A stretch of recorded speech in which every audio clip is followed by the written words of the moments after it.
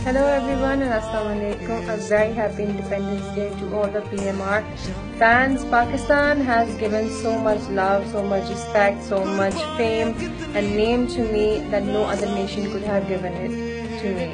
A very happy Independence Day to everyone do as much as you can for this country and stay safe. Happy Independence Day to